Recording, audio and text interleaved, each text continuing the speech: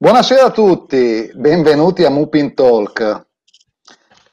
Eh, questa sera affronteremo la storia di un fenomeno che ha cambiato il mondo. Vedremo come Internet, lo strumento che tutti noi usiamo ogni giorno, parte da molto lontano.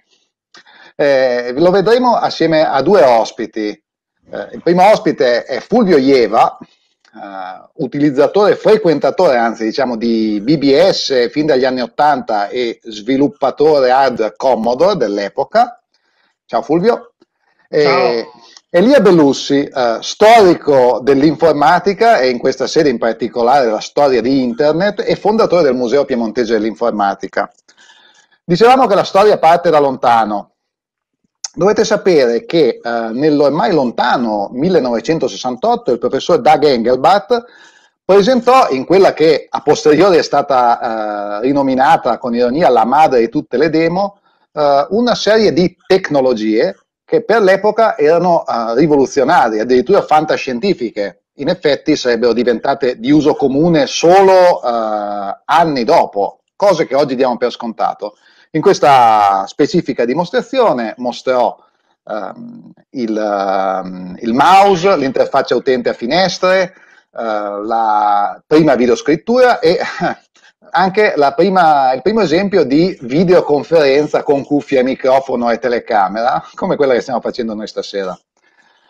La dimostrazione fu fatta utilizzando un computer innovativo, un SDS 940, uno dei primi computer in time sharing, cioè in grado di eseguire, diciamo, contemporaneamente più programmi. Questo stesso computer fu poi donato all'Università di Berkeley, eh, dove eh, fu utilizzato da un gruppo di appassionati, tra le altre cose, per creare un sistema di bacheca elettronica, mm, eh, un sistema che avrebbe simulato l'uso di una vera bacheca come quelle che si, trova, si trovano, si trovavano in molti luoghi pubblici, un posto dove appendere annunci, foglietti.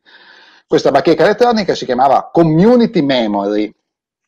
Eh, aveva uh, un terminale inizialmente uh, dislocato presso una biblioteca e offriva agli utenti la possibilità di uh, creare contenuti e di commentare, rispondere ai contenuti creati dagli altri nel giro di breve tempo raggiunge una certa base di utenza e eh, spontaneamente eh, si creano gruppi di utenti dedicati al collezionismo di oggetti particolari, a, a creare gruppi di utenti che condividono l'automobile per fare certi viaggi oppure per eh, condividere consigli sui ristoranti preferiti, un po' come facciamo noi oggi comunemente con tutti con i nostri strumenti tecnologici. Questa è eh, comunemente considerata la prima bacheca elettronica, BBS, Bulletin Board System. Da lì in avanti eh, c'è stata una evoluzione tecnologica che ha portato le BBS a diventare un fenomeno eh, relativamente diffuso sempre per una nicchia di appassionati e eh, questi stessi appassionati sono stati poi i primi fruitori di internet così come la conosciamo oggi. Fatta questa brevissima introduzione, eh, innanzitutto facciamoci chiarire più nelle, nel dettaglio cos'erano le BBS e come venivano fruite all'epoca. Fulvio, eh, tu, tu, da utente e da frequentatore di BBS, come descrivi quell'esperienza in quei tempi? Allora, eh, in quei tempi in Italia era il 1986 85-86, la prima volta che mi avvicinavo al mondo del computer, allora avevo un Commodore 64 e mi ero autocostruito un piccolo modem, perché i modem costavano carissimi, erano apparecchiature professionali, quindi me l'ero costruito e lo utilizzavo attratto da questo fenomeno delle BBS. Come avevo conosciuto questo fenomeno? Ma innanzitutto torniamo indietro di due o tre anni, nel 1983 quando al cinema è stato proiettato il film War Games, che era un classico che ha avuto un successone tremendo, in cui c'era un ragazzino che si collegava con un computer del, della difesa americana e combinava una serie di danni e una serie di avventure e poi tutto si risolveva in, in buona, con un buon esito. Comunque, quella, quella le, ero già appassionato di computer, non mi potevo certo permettere nessun computer, me lo sono potuto permettere dopo due anni. E l'idea di potermi collegare a un'altra macchina e interagire anche a distanza era per me una cosa affascinante. E le BBS ti davano questa, questa possibilità. Non ti collegavi con il Pentagono, non eh, hackeravi nessun sistema militare, però era un principio, avevi, cominciavi a vedere qualcosa che in Italia in quel periodo pochissimi vedevano, se non quelli delle università o persone che lavoravano eh, a stretto contatto con eh, aziende informatiche americane. Eh, cosa BBS qui in Italia c'erano le, le più famose erano um, organizzate da persone che non avevano scopo di lucro, avevano messo su un ambiente, un server che mh, tramite terminale ti faceva vedere una schermata in codice ASCII in cui tu potevi scegliere delle voci, potevi interagire con gli utenti, potevi scaricare dei piccoli giochi, potevi mettere degli annunci perché c'era una bacheca per gli annunci, generalmente era materiale elettronico o informatico. E quello che si faceva all'epoca era l'antesignano di quello che sarebbe stato internet al giorno d'oggi, in scala molto minore e con i limiti di quella che era l'epoca. Non dimenticarci che ci collegavamo via telefono, ogni telefonata costava cara perché eh, se la, la BBS era nella tua stessa città pagavi uno scatto ogni 5 minuti, se invece telefonavi interurbana poteva diventare anche più cara, arrivavi a pagare anche parecchi soldi per l'epoca. Poi ero un ragazzino, non lavoravo, quindi si cercava in tutti i modi di fare collegamenti brevi, anche perché la velocità era sui 300 baud, quindi 300 bit al secondo per quello che ci poteva permettere l'epoca. Ah, mi dicono che eh, era, anche molto, era anche molto costoso connettersi alle BBS all'epoca, ma tecnicamente eh, mi hai parlato di baud, eh, che è un'unità di misura della velocità della connessione. Sì. Eh, si faceva eh, esattamente una telefonata. Sì, tu ti collegavi il tuo modem in parallelo al telefono digitavi il numero di telefono, potevi fare o dal telefono oppure per i modem più avanzati facevano direttamente loro il numero. Dopodiché ci si collegava, si udiva il classico fischio che poi eh, siamo abituati a sentire di quando ci si collegava alla BBS, che era una metà tra un suono di un fax e una, un rumore abbastanza fastidioso. Comunque per l'epoca era un suono bellissimo e dopo un po' riuscivi anche a capire quando ti collegavi, quando era il momento in cui ti collegavi. Le BBS erano gratuite, quello che costava, come ho detto, era la telefonata. Non è come il periodo dell'epoca, era ogni telefonata costava in media 50 lire al minuto, per quanto riguarda. E se tu telefonavi fuori, eh, fuori città, con il prefisso che non era quello della tua città, pagavi, eh, gli scatti avvenivano molto più veloci, non avveniva uno scatto al minuto, ma avveniva uno scatto ogni eh, 10 secondi, 2-3 secondi, dipende. E quindi immagina quanto poteva costare una connessione. La velocità era 300 baud, 300 bit al secondo, e tu immagina per riempire una pagina di eh, 25 caratteri per 24 righe, eh, quanto ci andava solo per riempire una pagina. Quindi era molto lento, erano, era più che altro quando ti collegavi per 10-15 minuti avevi speso le tue 500-700 lire, erano soldi eh, per un ragazzino dell'epoca. Eh, conveniva essere sintetici effettivamente. No. Eh, da, questi, da questi strumenti um, diciamo di nicchia poi si è passati uh, in un giro di un tempo relativamente breve a internet, una cosa che noi oggi diamo per scontato. Io a casa mia ho eh, l'utenza del gas, l'utenza dell'energia elettrica e l'utenza di internet. Internet è un servizio che noi tutti abbiamo oggi. Ma qual è, eh, una domanda che giro a Elia, qual è la vera origine di internet? Perché noi avevamo quindi questi computer a cui si telefonava. Eh, oggi abbiamo dei computer che sono costantemente tutti connessi. Come, come si è arrivati ad internet, Elia? Beh, eh, già tu hai accennato un po' alla storia di internet degli della fine degli anni 60. Eh, diciamo che mh, quasi 60 anni fa, per la precisione dal 1961, eh, grazie a Leonard Kleinrock del, dell'MIT, ehm, si, che teorizzò, la, che pubblicò il primo studio sulla teoria del packet switching o commutazione di pacchetto, si diede il via alla, alla tecnologia necessaria per eh, comunicare tra sistemi diversi. Eh, questa teoria è a base del trasporto dei dati nelle telecomunicazioni e da, da, quest- da quella data si è, si è, proseguito senza sosta eh, da un lato con le università americane che avevano bisogno di condividere documentazione di, per le ricerche che, che stavano facendo.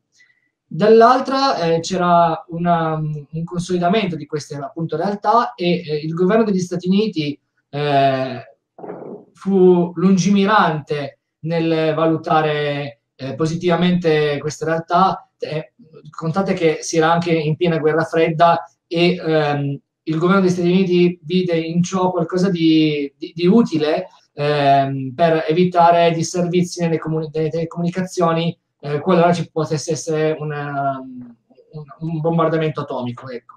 Eh, sicuramente non è, eh, questo ha influito moltissimo nello sviluppo, ma tutto nacque dalle università. La cosa più importante era l'università, la possibilità di condividere documentazione e ricerca in modo da poter essere più produttivi in quel senso. E comunque da qui si sviluppò ARPANET, che è la progenitrice di Internet per come la conosciamo oggi, e poi si è arrivati alla Internet che abbiamo, che usiamo, che stiamo usando anche adesso. Ecco. Wow, eh, giro a Fulvio i complimenti del pubblico per essersi costruito un modem, eh, che hanno commentato.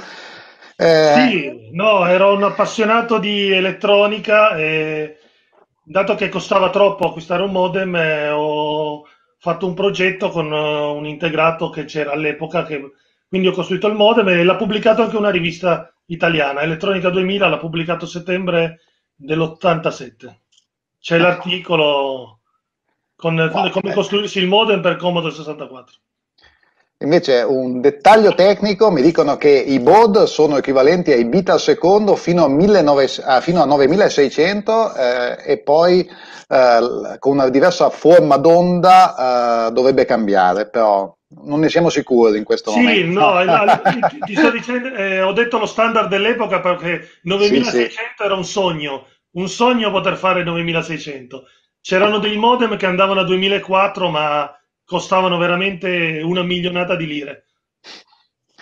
Uh, Fulvio, questi, uh, queste BBS, questi diversi computer a cui si telefonava, uh, erano quindi delle isole chiuse, cioè io mi collego con una, mi, collego, mi collegavo con una specifica BBS e rimanevo chiuso in questo piccolo mondo oppure c'era un qualche tipo di federazione, di interoperabilità No, no, non erano chiuse assolutamente. C'era una serie di modo mm, per cui dialogavano fra di loro. C'erano le, mm, come si chiama, delle reti, delle, c'era la più conosciuta era Fidonet, che permetteva di collegarsi e di, tras, di, tramite un indirizzo diviso in nodi, comunicare e inviare delle specie di mail, dei messaggi a tutti quelli che facevano parte della rete Fidonet. Quindi se la BBS aderiva a Fidonet, condivideva i suoi nodi e praticamente creava una rete che veniva replicata ed era possibile inviare messaggi in tutte le parti del mondo. Teniamo pre- presente che Fidonet è nata in America e si è sviluppata facilmente anche qua in Italia, quindi c'erano tante BBS che erano collegate a Fidonet con cui tu potevi scrivere delle mail a persone che erano in America collegate a delle altre BBS le, era un principio come quello che è il, lo standard attuale TCP/IP, però era basato su altri, su altri principi. C'erano i nodi, adesso è troppo complesso da descrivere, comunque c'erano degli indirizzi numerici con cui tu potevi scrivere a delle altre persone. Tu avevi il tuo indirizzo, che era un indirizzo numerico, e lo pubblicavi e potevi scambiare messaggi. Ah. Quindi eh. c'era la, la, l'email già allora c'era non era proprio email, comunque era l'equivalente. Non si potevano mandare allegati, diciamo, potevi solo scrivere testo. Se volevi mandare immagini, potevi dovevi fare con l'ASCII art, cioè simulare delle immagini creandole con i caratteri semigrafici della tastiera. Quello... Questo, eh, questo, sistema per condividere messaggi eh, da una bacheca all'altra eh, mi fa pensare al meccanismo dei newsgroup che è arrivato fino ad oggi ed è un po' passato, passato di moda. Elia, eh, i newsgroup hanno, cosa sono esattamente per i nostri, per il pubblico più giovane che forse non li ha mai nemmeno conosciuti anche se esistono ancora in una piccola piccola nicchia. Eh, I newsgroup hanno dei legami perché assomigliano molto a, a ciò che ha descritto Fulvio. Eh, ad essere precisi non hanno legami, nel senso che eh, si basavano su un'altra te- tecnologia, un altro protocollo e eh, comunque il, concettualmente eh, potevano, possono essere considerati simili. Um, sono stati un mezzo di, di comunicazione eh, molto comune, eh, in particolare dalla fine degli anni 90 fino al primo decennio degli anni 2000, eh, nonostante fossero stati introdotti già negli anni 80 il, il concetto è, è, sempre quello di condivisione di, di, messaggi, in questo caso qui di, di post, articoli, affer- però afferenti ad una specifica categoria gerarchica. Um, facciamo un esempio. Mettiamo che io sia un appassionato di cartoni animati e sia un, un utente italiano. Beh, ov- ovvero, lo sono. però vabbè, eh, bene, io troverei sicuramente il mio newsgroup preferito, eh, com- ad esempio potrebbe essere It Arti Cartoni, eh, che tra l'altro è ancora attivo e, a quanto mi risulta.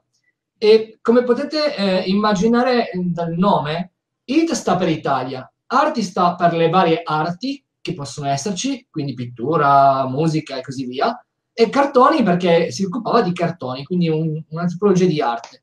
Eh, in questo genere di questo, in news, nei newsgroup eh, la gente si trovava per dialogare eh, un po' come per le, le BBS, diciamo. E eh, immagino anche che molti di, chi, di coloro che ci stanno ascoltando adesso eh, abbiano avuto eh, il piacere di utilizzare, di, di, postare, di scrivere messaggi su It Comp Retro Computing, eh, in cui appunto si parla di retro computing e nel quale in, sono sicuro molti di noi si, hanno iniziato, hanno iniziato i loro primi passi eh, sul tema e eh, hanno iniziato a conoscersi. Ecco. Posso fare una citazione personale? Io stesso eh, sul newsgroup It Comparative Computing ho eh, conosciuto per la prima volta eh, altri appassionati di computer d'epoca, quindi ho iniziato un percorso personale che mi ha portato stasera ad essere qui a, a parlare con voi. Uh, quindi i newsgroup hanno anche un, ai newsgroup siamo molto affezionati anche per questo motivo, anche se oggi non sono più molto usati. Uh, un, invece facciamo un passo indietro, uh, torniamo a parlare della scena underground, delle BBS, del film War Game. Nel film War Game si vede questo protagonista che fa dei trucchi per poter telefonare gratis. I, queste, queste, attività di, di boh, uh, sabotaggio delle linee telefoniche, di furto delle telefonate, erano qualcosa di veramente diffuso, era qualcosa che si faceva o sono più invenzioni cinematografiche? Fulvio, da, da, tu hai mai telefonato a scrocco? Penso che sia andato in prescrizione il reato. Sì. Sono passati 30 anni, sì, ho telefonato a scrocco. no, in Italia era molto meno diffusa perché noi avevamo una rete a impulsi. Funzionava bene con la rete a toni eh, in America, dove è nato questo fenomeno, per cui diciamo che abbiamo le, la persona, l'emergente, colui, l'hacker principale che ha lanciato questa moda, che è John Thomas Draper, che mh, era un ingegnere americano che praticamente nel 1964 ha scoperto che poteva, come si chiama, eh, hackerare i sistemi della, della rete telefonica americana. Poi quando c'è stato lo sviluppo delle BBS, perché finché erano solo telefonate, lui lo utilizzava proprio per non pagare questi collegamenti. Eh, cosa aveva? Aveva sviluppato, essendo un ingegnere elettronico, aveva sviluppato un semplice circuito che imitava le frequenze con cui eh, si autenticava l'inserimento delle monete all'interno della uh, rete telefonica. Quindi poteva far credere al, all'operatore che lui avesse messo la moneta e quindi la, la telefonata continuava ed era abilitata. Dopo ha sviluppato ancora eh, questa sua tecnica, è arrivato anche a, avendo questi mezzi a poter scansionare tutti i numeri di telefono, riuscendo ad avere anche il numero del Pentagono. E ci sono varie storielle per cui lui è riuscito una volta addirittura a parlare con, eh, il, con Nixon, quindi eh, in cui la, narra la leggenda che lui ha detto signor Presidente è in atto una crisi facendosi passare per un personaggio della CIA e il Presidente le ha fatto che tipo di crisi? Fa, abbiamo finito la carta igienica e da lì questo l'ha fatto diventare di lui una leggenda vivente e soprattutto l'ha, l'ha fatto entrare sott'occhio dell'FBI, per cui non ha più potuto fare niente se non avere la nomina di, Capitan Crunch. Quello era nomi, soprannominato Capitan Crunch.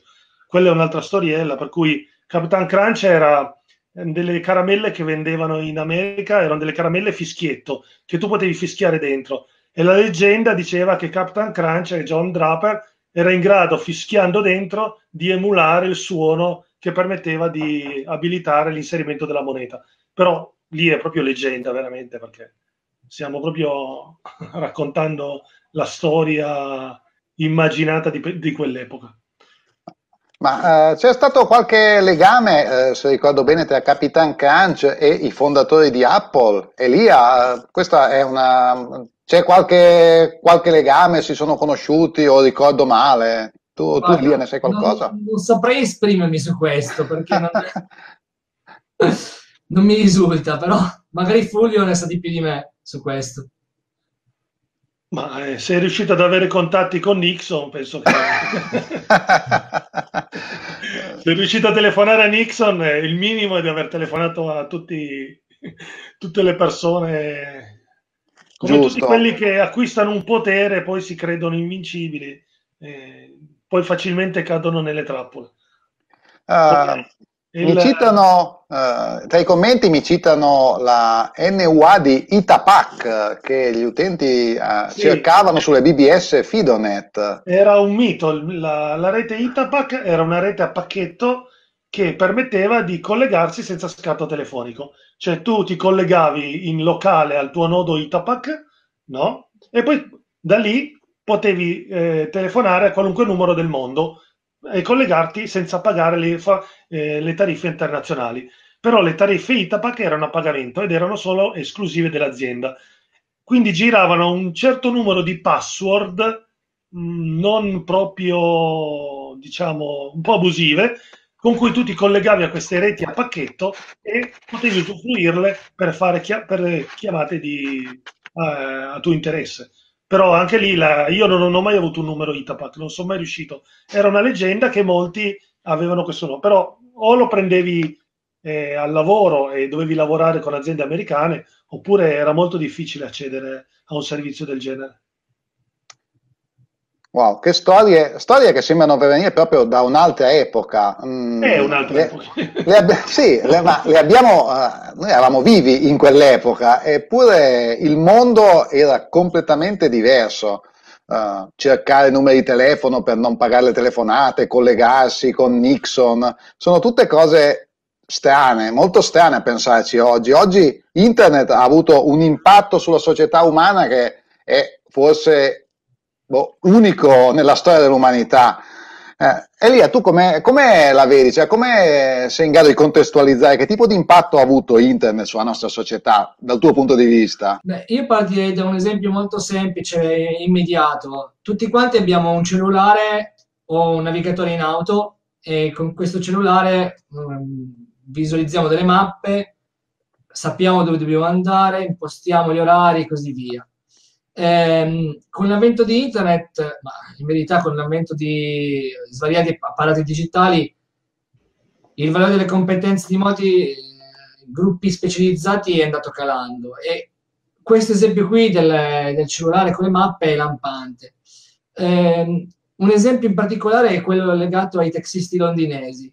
Eh, I taxisti londinesi per poter ottenere la licenza, il permesso di eh, effettuare i propri servizi, devono dare un esame eh, difficilissimo eh, in cui gli viene chiesto di memorizzare tutte le vie di Londra, ma non solo, eh, devono anche eh, sapere in base agli orari quali sono le scorciatoie e quali sono le zone in cui c'è più traffico, quindi da evitare. Eh, tutto quanto memorizzato nella prima mente. No?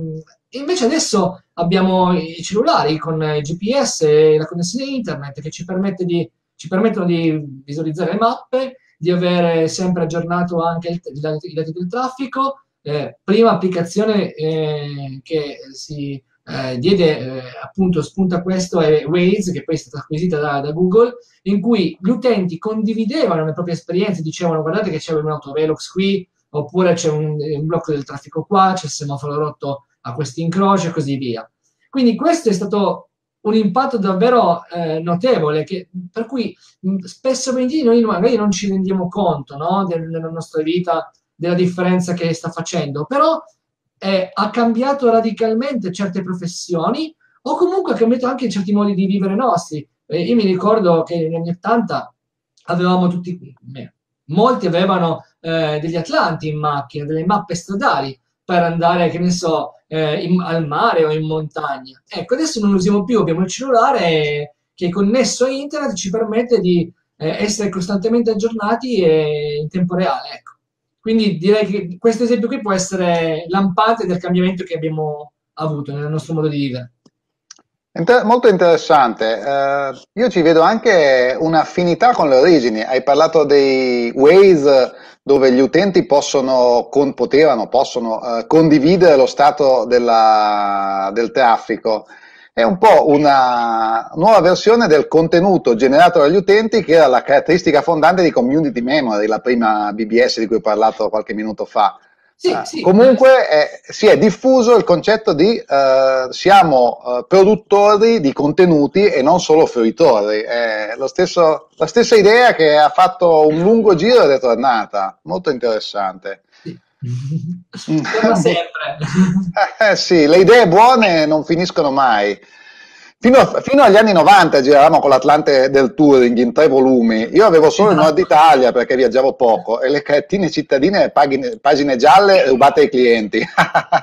Beh, anche lì, eh, fino a qualche, a qualche, anno fa, eh, tutti quanti andavamo in agenzia di viaggi per prenotare i nostri viaggi turistici, no? E adesso invece usiamo booking.com, eh, Expedia, eh, qualsiasi servizio online o anche sul cellulare per prenotare il proprio volo o per prenotare l'albergo, per pianificare il proprio viaggio, no? anche per le recensioni stesse. Non ci affidiamo più a qualche persona eh, specializzata, ma eh, ci arrangiamo andando a leggere le guide. Guide che tra l'altro ci sono ancora, tipo eh, le guide cartacee e vengono ancora pubblicate e hanno ancora un, grande successo, però non sono più ehm, il, il, punto fondante delle, nostri, delle nostre programmazioni per i viaggi all'estero o in, in, di vacanza.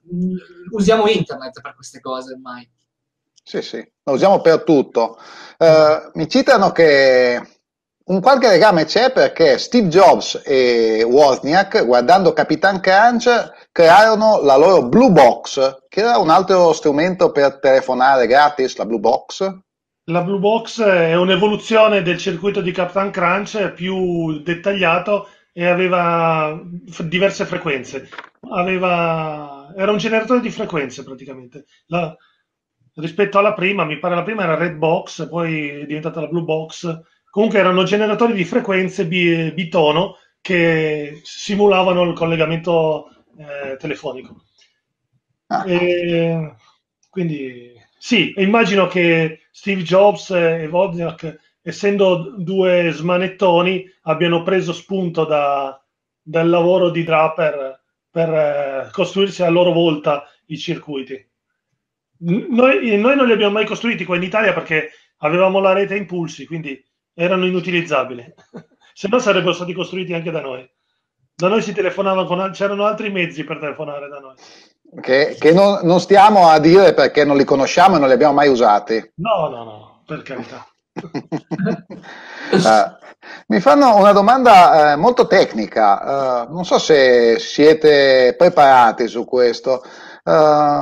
I, videogame sulle BBS, che ogni tanto passano alle mie spalle, sulle BBS c'è anche un meccanismo di videogame mm, per giocare collegati, però come funzionava questa cosa? A quell'epoca i computer, eh, a differenza di quello che ho citato prima, potevano eseguire un solo software, un solo programma alla volta, però eh, avevano un modo per eseguire dei videogame esterni al software che gestiva BBS. Questa è una domanda mh, sensata, eh, oppure in realtà queste evoluzioni sono successive quando già i computer che gestivano BBS erano capaci di eseguire molti programmi.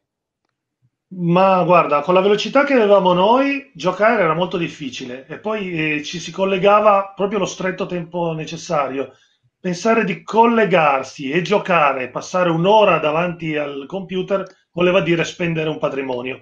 Eh, comunque, giochi c'erano, eh, non dimentichiamoci che all'epoca la maggior parte dei giochi su PC erano testuali, erano adventure testuale, testuali, in cui c'era una descrizione dell'argomento eh, che si descriveva la situazione e tu dovevi trovare una soluzione muovendoti in una mappa virtuale e raccogliendo gli oggetti. Tutte queste erano mh, mm, tutto in maniera testuale, intermezzato da qualche immagine, ma però in bassa risoluzione. E questi erano i giochi dell'epoca. E ti posso assicurare che erano molto seguiti. C'era la gente che passava le notti su questi giochi per cercare di trovare la soluzione. Questo fin quando non, hanno cominciato a velocizzare un po' il collegamento con le BBS. Per giocare a un certo livello andava almeno un 2400 baud, al 2006 sarebbe stato l'ideale. Si è cominciato a giocare quando eh, poi è arrivato internet, lì si giocava veramente. C'è stato un periodo di transizione in cui c'erano delle door che permettevano di interfacciarsi con altri programmi, sempre di eh, giochi di gruppo, diciamo, però erano un periodo di, di, di mezzo che è durato pochissimo. Diciamo nel passaggio in cui aumentava la velocità di connessione e aumentava anche la velocità dei computer dell'epoca. Ok, ok. Mi dicono che sulle BBS Fidonet giravano i multi-user dungeon che erano a turni, eh, quindi eh, non c'era una, un vero parallelismo. Sì, su, eh, su DOR, se posso intromettermi, sì. eh, si giocavano anche in particolare RPG testuali, eh, alcuni erano anche, sono stati anche abbastanza famosi, tipo Lord. Eh, diciamo che erano comunque, appunto, come diceva Fulvio, giochi che non richiedevano eh, tantissima banda per, per, per, poter partecipare, ma appunto essendo testuali eh, riuscivano ad essere contenuti nei costi, diciamo gli antenati dei primi MMO, eh, prima di eh, Warcraft eh, Online, ah, si giocava in maniera testuale. No, no, tieni presente no. che è, la, è lo stesso paragone che può essere tra un libro e un film eh, di adesso. Nel libro tutto è demandato alla tua fantasia e lì l'adventure, il gioco era tutto demandato alla tua fantasia. Ci si davano degli spunti con la descrizione e poi tu ti immaginavi la situazione. Quindi a livello mentale era bellissimo per quel poco che avevamo. eh, si usava eh, più la fantasia, non come oggi che è tutto facile, che c'è la pappa pronta. Sì. Eh, mh, mm, anche i primi bot sono nati sulle BBS, i primi chatbot nascono lì, che voi sappiate, mm, la storia no. dei chatbot esistevano? Parlando di chatbot, io mi sposterei un po' più avanti nel tempo e arriverei ai primordi di internet, quando c'era l'IRC, Internet Relay Chat. Lì sì. eh, si utilizzavano parecchio i bot e le, le chat. Sì. Elia, dici sì, cos'è IRC? Voi date per scontato IRC, ma noi non abbiamo un pubblico di boomers, eh? alcuni non hanno mai usato queste cose. Cos'è IRC?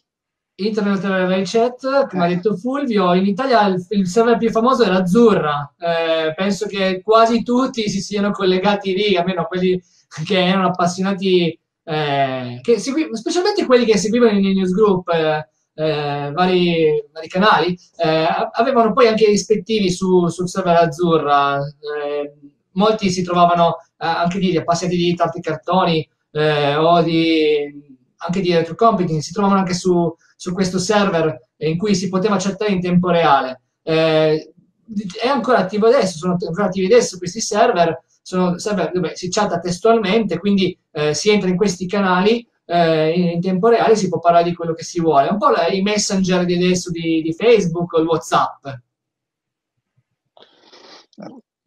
A proposito di buone idee che continuano a tornare, cambiano le tecnologie, ma l'uso che se ne fa continua a essere costante. Eh, cambia, quello che cambia è forse il paradigma della comunicazione, mm, eh, la cosa più evidente. Eh, tu Elia, puoi farci un esempio questo, dell'impatto di, questa, di questo cambio di paradigma che stiamo vivendo? Beh, eh, internet ha permesso di essere a contatto con eh, altre persone di tutto il mondo, questo è, lo possiamo vedere adesso in particolare, ma lo vediamo, l'abbiamo visto anche negli, negli anni passati. Um, ha fatto quello che ha fatto il telegrafo prima, poi il telefono dopo, eh, ha unito per, le persone. Eh, sì, c'è ovviamente tantissima critica sul fatto che ci si isoli, che si, si rimanga da soli e così via, però va considerato che eh, Ora si può parlare e vedere anche l'altra persona che probabilmente vive nella parte opposta del mondo, come, eh, se, questo è come se ti rende praticamente eh, vicina questa persona a te, no? Quindi eh, fa sì che tu possa quasi considerarla come se fosse nello stesso posto in cui vivi tu. E la connessione ha permesso di unire anche dei, dei cluster, che, ehm, ad esempio quelli finanziari, no? Eh, una volta ehm, se si faceva un investimento, ehm, questo era focalizzato su quanto ehm, era vicino fisicamente e temporalmente. Ora si può fare un investimento comodamente presso eh, una borsa di un'altra nazione, eh, anche passeggiando in un parco tramite l'uso di un'app.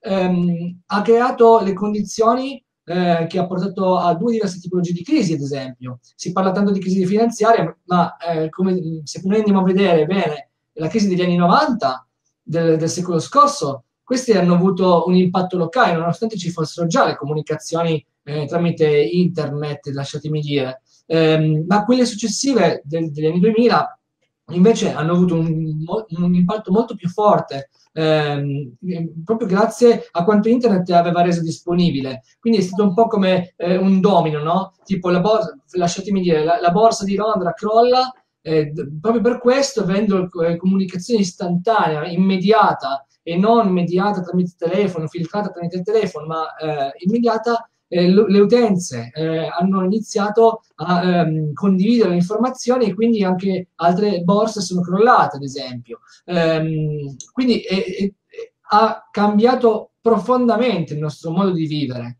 e anche in questi giorni lo stiamo vedendo e, e cambierà ancora. È vero, è vero, non sappiamo cosa, cosa aspettarci. Eh, a proposito delle buone idee che tornano, invece mh, ci chiediamo, le BBS di cui parlavamo prima sono finite? Non esistono più? Oppure adesso, nel 2020, io posso collegarmi a una BBS? No, no, le BBS sono rimaste, ce ne sono molte, e logicamente cosa sfruttano? Non, non sfruttano più la rete commutata, o almeno sono rimaste pochissime in rete commutata, quindi pensare di chiamarle telefonicamente ce ne sono veramente poche. Ce ne sono invece tantissime su internet su, con vari protocolli come Telnet, che è il più semplice per raggiungerla. Eh, quindi sono un sacco di BBS che eh, riproducono quella che era lo standard dell'epoca e ci si può collegare gratuitamente a questo punto perché non c'è più connessione telefonica basta semplicemente eh, digitare l'indirizzo, avere un te, una connessione con Telnet e si, si può collegare. E se cercate su Google BBS ne, ne, ce ne sono migliaia, veramente migliaia. Anche perché oggi, come oggi, un modem in casa non sapremo nemmeno dove collegarlo. Non, un modem un modem analogico, collegarlo al cavo fibra ottica viene un po' difficile, quindi no, ci servono altri standard oggi. Lo puoi collegare lo stesso dove colleghi la presa telefonica, il VoIP, e entri in VoIP invece che logicamente il numero di telefono è un po'... forse, forse ti fa anche il numero di telefono. Dovrei provare, però credo che in DTMF riesci anche a digitare il, il numero di telefono. Però devi trovare una BBS che sia su rete commutata che ti risponda. Sì, una BBS che ti risponda dagli anni 90 probabilmente. No, poi pensa al costo che devi mettere su, devi mettere su un server acceso e collegato a una serie di modem che gestiscono le connessioni perché ogni, ogni modem gestisce una connessione su diverse seriali, su porte seriali, perché allora il modem si collegava alla porta seriale. Ehm... Fantastico, era, come dicevo prima, era un altro mondo, era tutto più, era uh, più, più, più, naif, più difficile. Lo rimpiangiamo? Uh, una domanda per entrambi. Rimpiangiamo quell'epoca o la rimpiangiamo solo perché eravamo più giovani? No, io non, lo rimpiango assolutamente. Mi sono divertito all'epoca, come mi diverto il giorno d'oggi, a fare altre cose.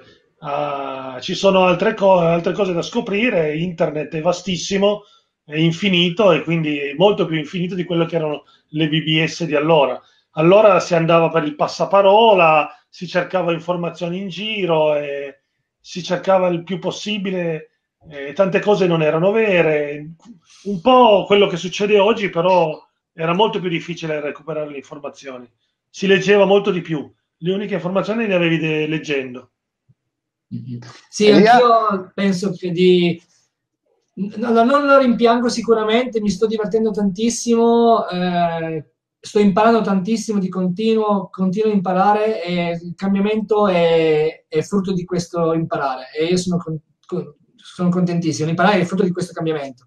Sono molto contento di questo. Ovviamente ho dei bellissimi ricordi perché io comunque eh, ho iniziato ad usare internet eh, nel 98-99 e quindi ero ancora un pischello, diciamo così, andavo al liceo eh, ho conosciuto, ho iniziato ad, ad appassionarmi anche lì eh, a quello che erano le potenzialità del, dello strumento. E, e, credo che sono bellissimi ricordi di un adolescente quelli. Eh, ora è ovvio che si debba andare avanti ed è giusto che si debba andare avanti, ci sono tantissime altre eh, opportunità per poter eh, apprendere e imparare cose nuove grazie a questi strumenti. Parole sante. Uh, mi dicono che una grande fonte di informazione all'epoca erano le riviste di elettronica che spiegavano come costruire i modem, Fulvio, ad esempio. sì, sì no. eh, trovi sulle riviste di elettronica perché elettronica e computer erano insieme allora, non c'era proprio chi faceva elettronica o faceva radio, eh, trasmissioni radio oppure appena è nata un po' l'informatica digitale le, si, si, autocostruiva il primo computer.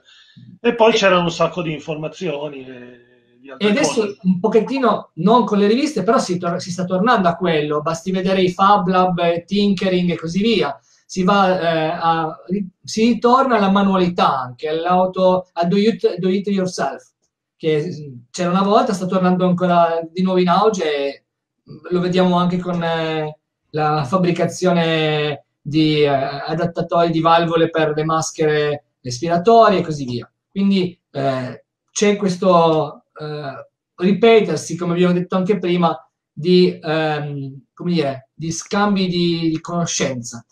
Sì, diciamo che allora eravamo proprio dei pionieri, nel senso che ti dovevi costruire il circuito elettronico e, e ogni cosa dovevi partire dal transistor, farti l'oscillatore e tutto quanto. Adesso prendi un Arduino, lo programmi e gli fai fare quel che vuoi.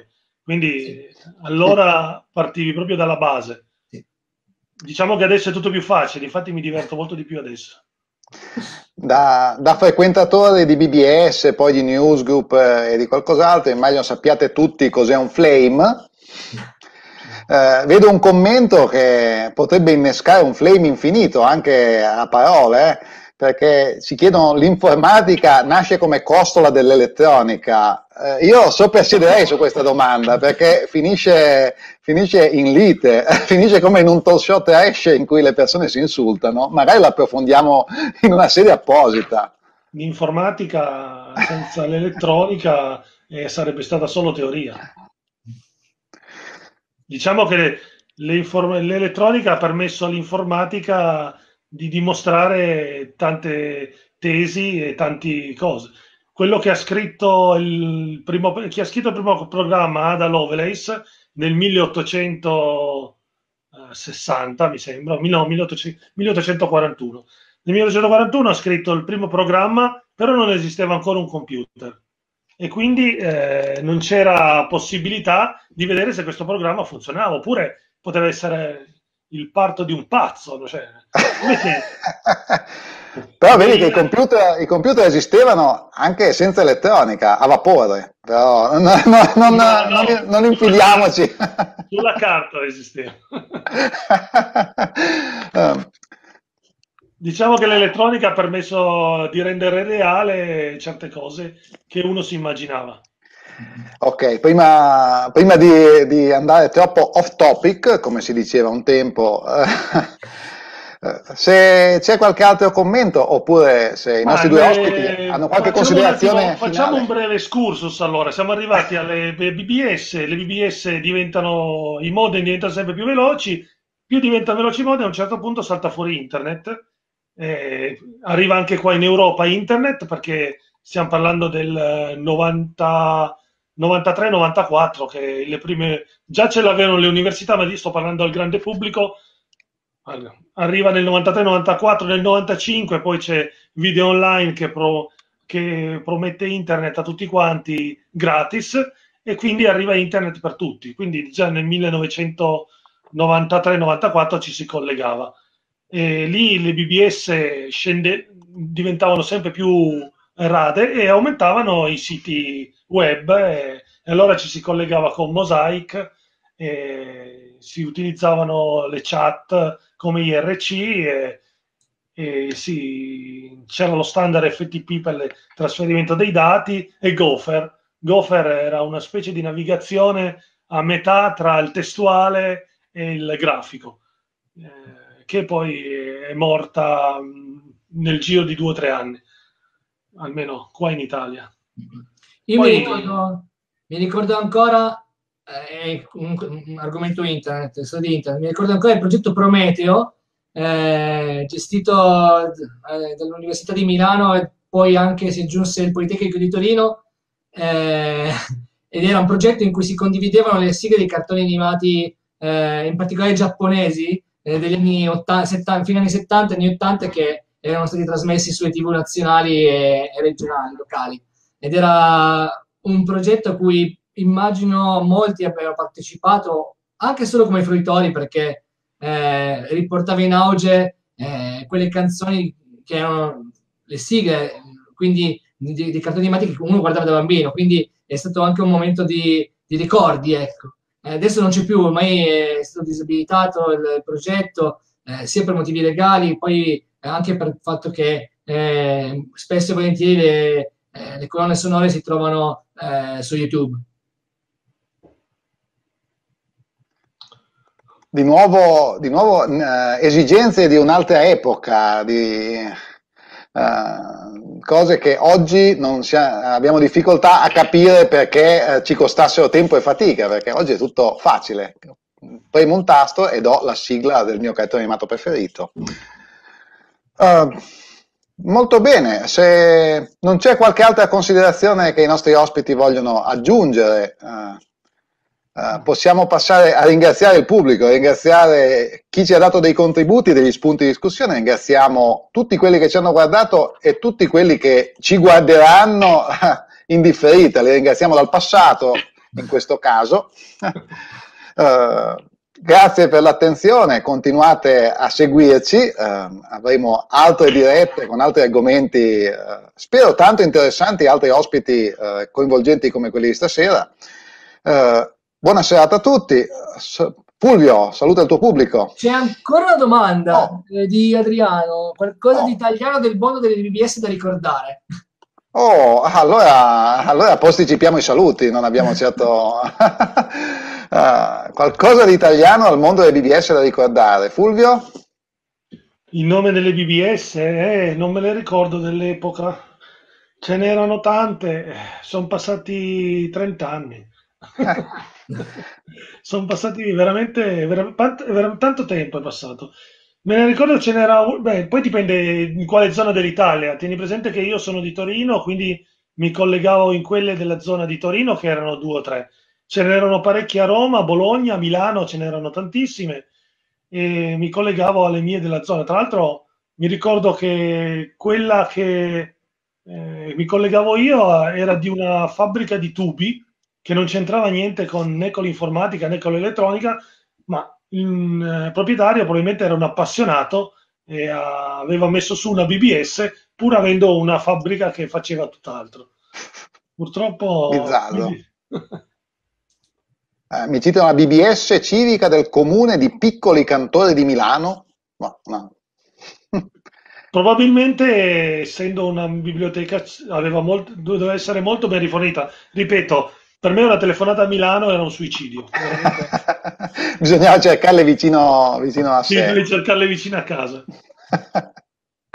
Quindi collegati in remoto, ma non troppo in remoto. Sì. Oh, MC Link, citano MC Link, la BBS della famosa rivista di, legata alla famosa rivista di informatica MC Microcomputer. Certo, certo.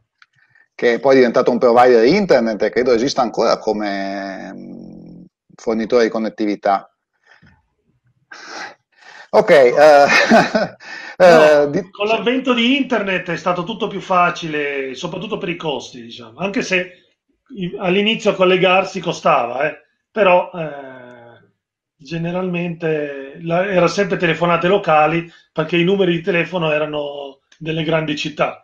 Quindi Ah, non possiamo in realtà non citare la neonata, tra virgolette, BBS italiana Retro Academy, naturalmente. Beh, certo. La BBS attuale, esistente, fruibile. E di esempio per chi si vuole creare una, una, una sua BBS, perché il, il codice è stato reso disponibile e chiunque può modificarlo e crearsi una sua BBS. Ringraziamo gli autori che l'hanno creato e reso disponibile. Di il nome, dai, a questo punto. Director Academy. Elia, Dimmi. ringraziamo, chi ringraziamo per la BBS Director Academy? Immagino ci sia di mezzo Francesco che ci sta ascoltando, tra l'altro. esatto, quindi... sì, sì, sì. Francesco, Francesco Splendorio. esatto.